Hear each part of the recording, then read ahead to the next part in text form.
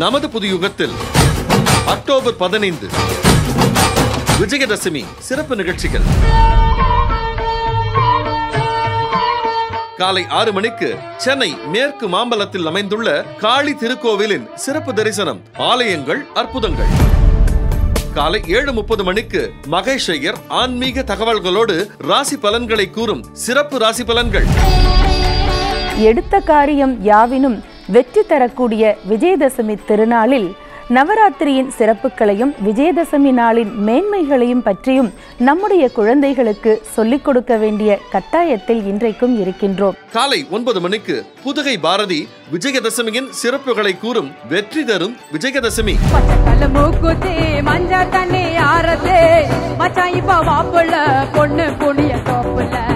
பேர் வச்சாலும் வைக்காம போனாலும் மல்லி வாசம் அது குத்தாள சொகவாசம்.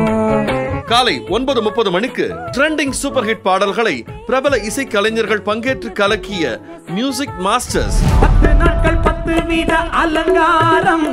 பத்து நாட்கள் அர்ச்சனைகள் ராமருடைய மனைவி சீதையையும் அவர் இழந்த ராஜ்யத்தையும் எப்படி ராமர் மீட்டார் அப்படின்னா அது இந்த நவராத்திரி விரதம் இருந்து. காலை பத்து முப்பது மணிக்கு நலன் தரும் நவராத்திரி. இன்றைய சூழ்நிலையிலே திக்கி திணறுவது. பெற்றோர்களா பிள்ளைகளா?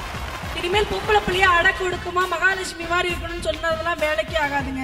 ஒவ்வொரு பொம்பளை பிள்ளையும் குட்டி பூலான் தேவியா இருந்தா தான் இந்த நாட்டுல பிழைக்க முடியும். எங்க அப்பா காலத்துல என்ன இவ்வளவு நெருக்கடி கொடுக்கல. ஆனால் என் பிள்ளைகளுக்கு நான் நெருக்கடி கொடுக்கறதுக்கு காரணம் என்ன தெரியுங்களா? இன்னைக்கு இருக்கிற புறச்சூழல். காலை பதினோரு மணிக்கு டாக்டர் ஜெயராஜமூர்த்தி நடுவராக பங்கேற்ற சிந்திக்க வைக்கும் சிறப்பு பட்டிமன்றம்.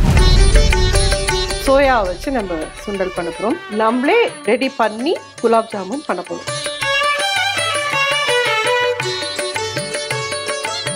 மதியம் பனிரெண்டு முப்பது மணிக்கு யோகாம்பாள் மாமி வழங்கும் நவராத்திரி சிறப்பு ருசிக்கலாம் வாங்க.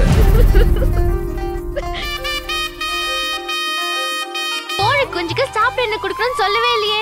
அது கொத்து புரோட்டாவும் சில்லி சிக்கன் போடுங்க நல்லா சாப்பிடும். சாரப்பாம்பு போல ஏ சாட கட்டுற ஆள அடி சலசலக்கிற மேல நான் சுத்துறந்தனால அந்த ஒத்த பார்வையிலேயே மனசு அப்படியே ஓப்பன் ஆயிடுதுன்னு.